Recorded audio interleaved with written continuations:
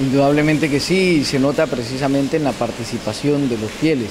Ustedes lo han visto hace un momento que ni el agua, eh, el agua ha estado toda la tarde y sin embargo la participación de los fieles en el templo, en la Santa Misa y ahora en la Serenata eh, es una participación muy notoria. Vengo a pedirle por mi hija que la tengo enferma y a ver, pues, pedir por ella, porque yo sé que ella ha hecho muchos milagros. Estaba bien grave, pero gracias a ella ya estoy mejor.